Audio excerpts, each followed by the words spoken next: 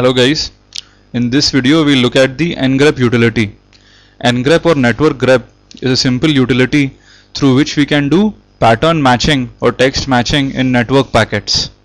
So what ngrep actually does is it looks at the payload of the packet and goes ahead and searches for various text or binary patterns which you requested to and if there is a match it will go ahead and show the entire payload of the packet along with the source destination IP and ports. So let's quickly do an ngrep minus h and check out what options we have. So ngrep can work both live on an interface by sniffing or you can feed it a pcap file as input. And the main part is here in which you go ahead and give it a match expression for which it has to search in that packet dump or live on the network interface. After that you can go ahead and define a Berkeley packet filter which is exactly the way we do it for other tools such as TCP dump and tshark. So let's just do a very simple initialization of ngrep. And minus d stands for the interface. Let's give it the eth0 interface. And let's say we search for the pattern Vivek. So if you notice a lot of hashes are being printed. The reason for this is whenever ngrep is parsing a packet it prints a hash for that packet now this can be very noisy and disturbing so let's go ahead and stop ngrep from printing a hash for every packet which it parses this is done by using the minus q option so now ngrep is much less noisy and it goes ahead and is searching for the match of the word Vivek in the packet which is sees. Let's do a control C, it's actually found a packet and let's scroll up. Okay, this is the first packet it's found. And if you actually look at it, here is the string Vivek. So basically this is my Gmail account and the Gmail chat application is going ahead and querying the Gmail servers most probably. So in this example we can easily see how ngrep is able to locate text in the network dump point to note here is that it's also found the cookie which is being used and anybody familiar with a little bit of web application security would know that using a cookie you might be able to emulate my ID to the Gmail servers. So now let's go ahead and give it something more interesting.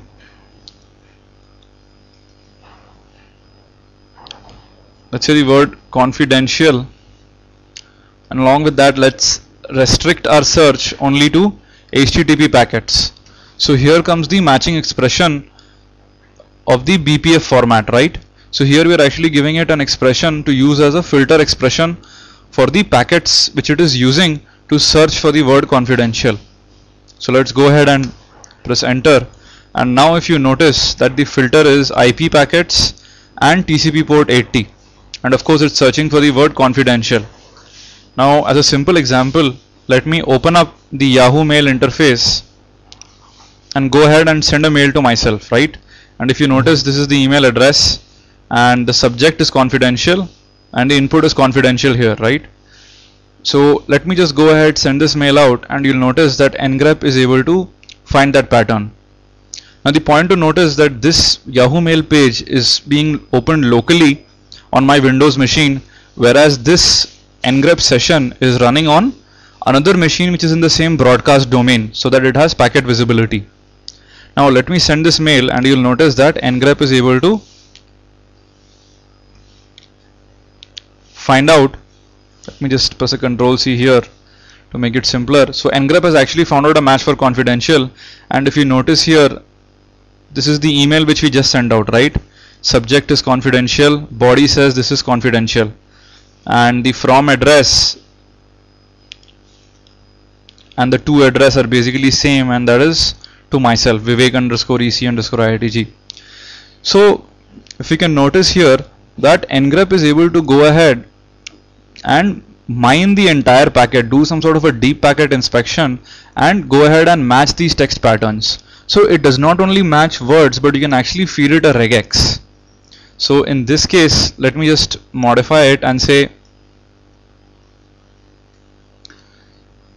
you know anything which has hack in it right? And let's once again go to our web interface and go to Google and search for the word hacker right? So we are getting a lot of traffic. The reason being that Google has replied back and basically all of those packets are being shown. So let's just scroll up and here we are. So we say match for hack and this is the first place where we are actually querying Google for the word hacker right? And you can see multiple hack phrases being used here right? So let's go ahead and check out how good this filter is. So you can just go back to our web interface and maybe just say hacks and maybe do a suffix s as well. And if you notice the filter is working perfectly and it is able to find out once again anything with the word hack in it.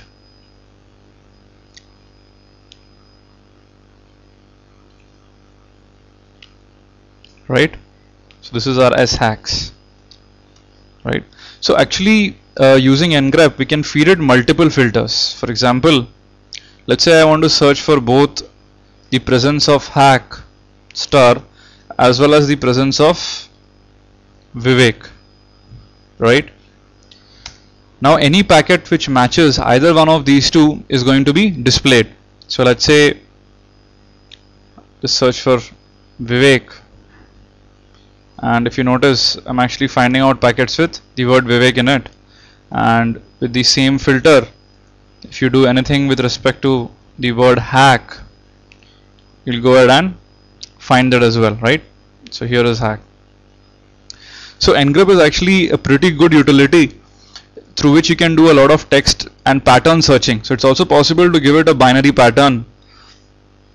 I'll leave that as an exercise to you. You can do a minus h and if you notice if you want to go ahead and search for a binary pattern then you have to use the minus capital X symbol right? Also it is possible to tell ngrep using the minus O option to basically dump the matching packets into a pcap file. Right?